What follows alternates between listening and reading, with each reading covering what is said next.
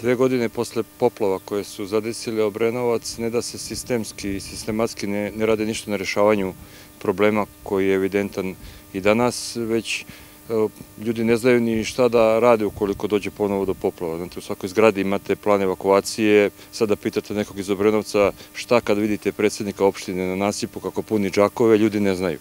Tako da to su elementarne stvari i ono što će svakako da se uradi, što mora da se uradi, jeste jedan ozbiljan program sistemske i sistematske zaštite od poplava u Obrenovcu, koji je realan i koji može da se realizuje u najkraćem mogućem roku, a dve godine su bile dovoljne da se to i do sada napravi.